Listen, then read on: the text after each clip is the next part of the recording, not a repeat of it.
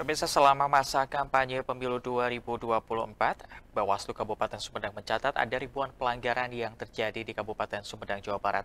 Sebagian besar terjadi pada alat peraga kampanye dan ada juga dugaan pelanggaran pidana pemilu. Selama masa kampanye pemilu 2024, Bawaslu Kabupaten Sumedang mencatat ada ribuan pelanggaran yang terjadi di Kabupaten Sumedang, Provinsi Jawa Barat.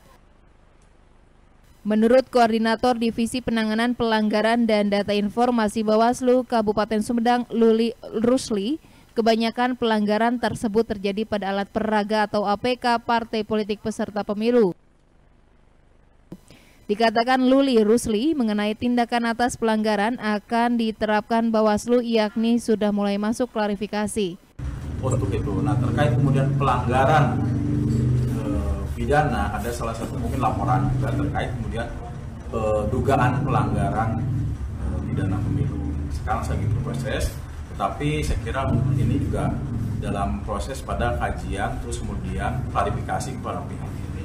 Eh, untuk pelanggaran administratif di APK itu ribuan ya. Hari ini kita juga lagi proses pemverifikasi dan menjumlah terkait tapi jumlahnya ribuan untuk APK di seluruh Kabupaten Sumedang. APK itu e, baliho yang paling banyak, gitu.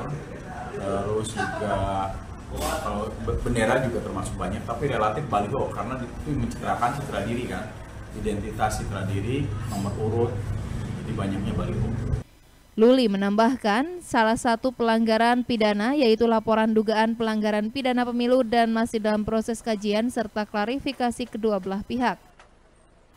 Hingga saat ini, Bawaslu Sumedang terus memantau dan melakukan patroli bersama terkait kesiapan pemilu jangan sampai ada pelanggaran berat yang rawan terjadi di akhir masa pencoblosan.